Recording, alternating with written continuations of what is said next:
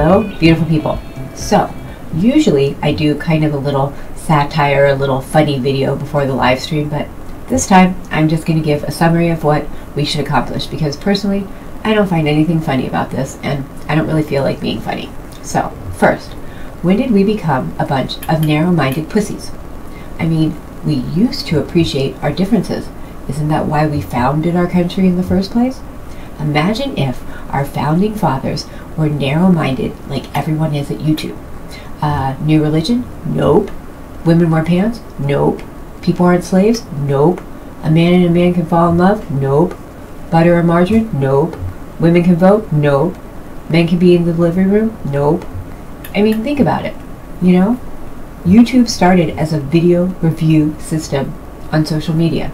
It was a video. You had to be in it, and you had to keep comments there because it was all about reviewing. Now, it's basically a podcast with a bunch of fluffers in it. It's kind of ridiculous. So remember, I operate a true open panel, which means I'm not going to moderate your comments, and I'm not going to move the direction of the discussion. As long as you can be civil, talk without screaming, and talk without profanities or obscenities, you can stay. If you do any of those things, you're gone. And the reason I do that is when you do those things, you lose all credibility. And personally, I don't have time to waste. Now, the next thing, when did we become such vile human beings? I mean, I seriously think there is a portion of the population who just has the intent to be a vile human being. I don't really get it. The world's kind of fucked up enough without us trying to hurt each other. I mean, you can read a story or read an email or say something about somebody without the intent to absolutely hurt someone. And that's the difference.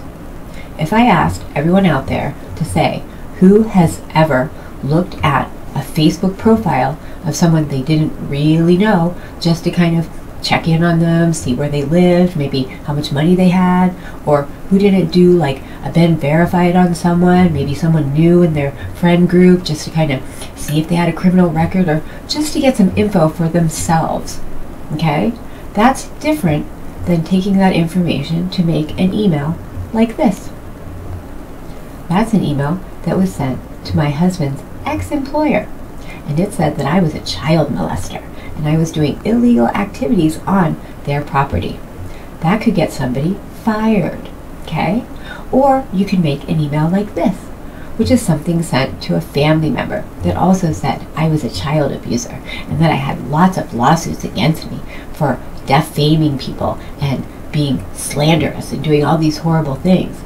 Or you can make a video like this, which was a video including photos of my children that was so bad that YouTube took it down before I ever saw it and they terminated the channel. Yeah. See, it's all about intent.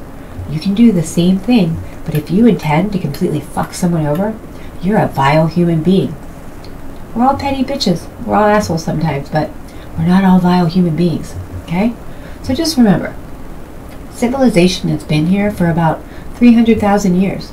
And unless you're an Einstein or Picasso, your life really doesn't matter too much in the big scheme of things.